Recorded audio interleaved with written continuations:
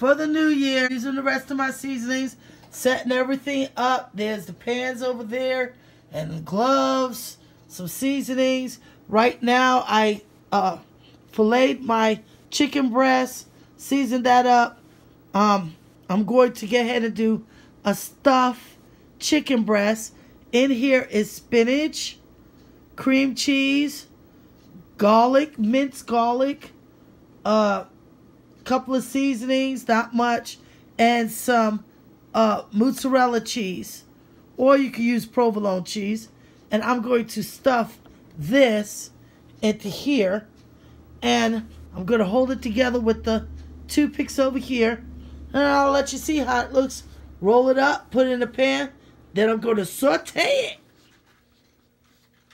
Okay, I got my chicken breast and I marinated that with my spinach and my um, cream cheese mixture with garlic, minced garlic. And I stuffed um, the chicken breast after I filleted it. And I got my toothpicks in. And I will normally put this in a glass pan, but I'm going to try it in a roaster because I'm tired and I may end up going to sleep. This way it won't leave much of a mess. So this is it. Uh, I was going to put it in the air fryer, but I'm afraid that cheese being melted will mess up my air fryer. Can't have that. So next time you see it, it'll be cooked. Okay, there is my chicken, homemade chicken rice that I made. And I used some chicken broth instead of the water to cook the rice. Um, and I added just a little bit of butter. And then I took them oodles and noodles seasoning. And I got that chicken seasoning. And I mixed it together. This is the chicken breast. This is the spinach. This is the diet version of stuffed chicken breast. I cooked the chicken, baked that, took the spinach, and I used cottage cheese instead of cream cheese.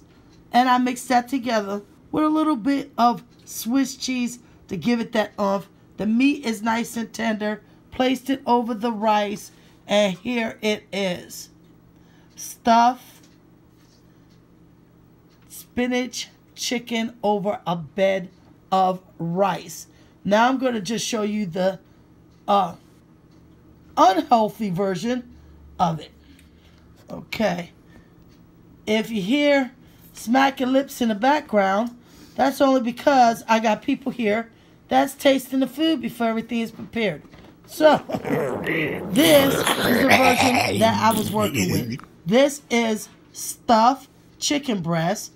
This one has the spinach, but it has provolone and Swiss cheese mixed with cream cheese instead of the cottage cheese. And this one is a little cold, where that one is warmer. So that's how you see this. And later on, I'll show you the whole display. Not done cooking yet for the new year. Happy New Year's, everyone. And this is my dinner. I want to share with y'all. Right here is just some broccoli with some ranch dressing. This is that chicken rice that I made with the chicken broth and the chicken seasoning from Oodles and Noodles. And. It's nice and tender. Look how tender that is. Come right on off. And I'm getting ready to eat and watch a nice movie.